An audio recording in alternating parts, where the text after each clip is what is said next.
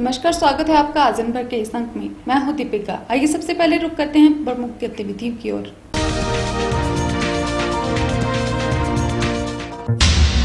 हमीरपुर जिला के बड़सर में सरकारी स्कूल में प्रिंसिपल के द्वारा छात्रों को मोबाइल पर अश्लील मैसेज भेजने वाले मामले में पुलिस ने शुरू की छानबीन। पुलिस ने आरोपी प्रिंसिपल के मोबाइल और गाड़ी को किया जब्त।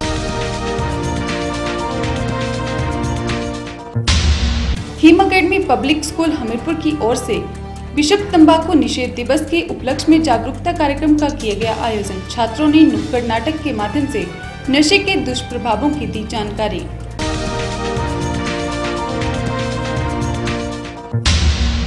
नो तंबाकू दिवस पर हमीरपुर पुलिस ने नेताजी सुभाष चंद्र बोस कॉलेज में पब्लिक पुलिस एसोसिएशन के साथ मिलकर विभिन्न स्कूलों के बीच विभिन्न प्रतियोगिताओं का किया आयोजन।